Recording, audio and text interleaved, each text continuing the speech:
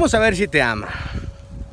Es una pregunta que tal vez es compleja, pero es aquella persona que te procura, que te pregunta si ya comiste, cómo estás, cómo te sientes, en qué puedo ayudarte, que está contigo en los momentos buenos, malos, pero aún mejor en los más difíciles.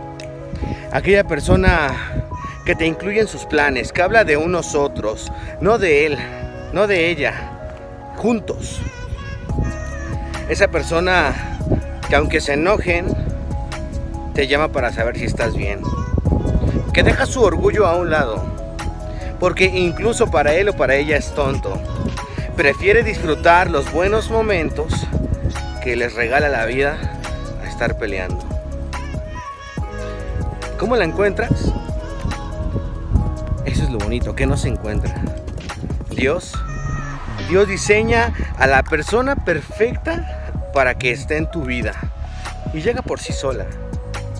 Así que esa persona que, que, no te ofende, que no te humilla ante los demás, que no te pega. Y si es así, abre los ojos.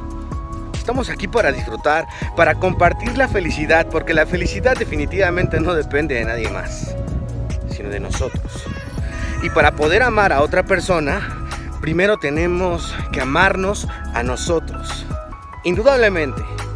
Y así las cosas van a funcionar. Recuerda que una relación es de tres. Él, Dios y ella. Y así las cosas van a marchar de la mejor manera. Así que sé la persona que te gustaría tener en tu vida. Y de verdad que vas a ser muy feliz. Te mando un fuerte abrazo. Y recuerda que si las cosas no están bien, no te preocupes.